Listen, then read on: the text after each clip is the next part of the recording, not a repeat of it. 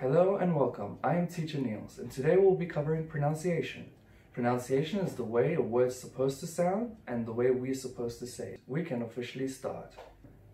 Today we'll be going over the vocabulary given in the worksheet in the description below. So our focus will be on how to say the words, more than what the words actually mean. Once we know how to say the words, then we'll put the meaning.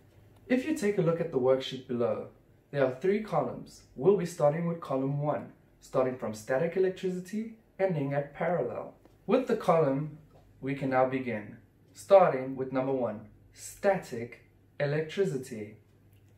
Static electricity. Number 2, electric current. Electric current. Number 3, electric charge. Electric charge.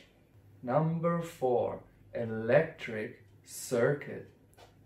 Electric circuit. Number 5, battery. Battery. 6, cell. Cell. 7, light bulb. Light bulb.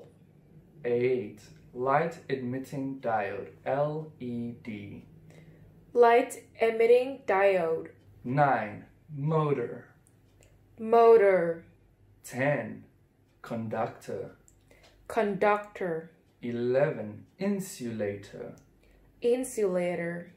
12, direct current. Direct current. 13, alternating current. Alternating current. 14, generator.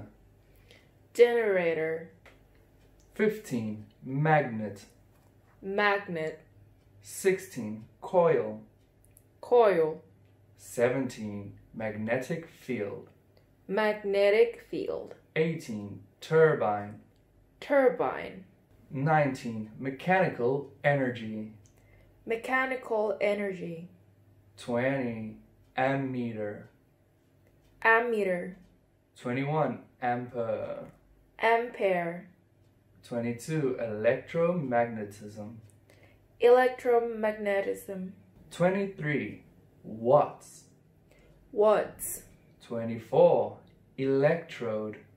Electrode. 25, electrons. Electrons. 26 is exhausted. Exhausted. 27, rechargeable. Rechargeable. 28, combustion. Combustion. 29, pressure. Pressure.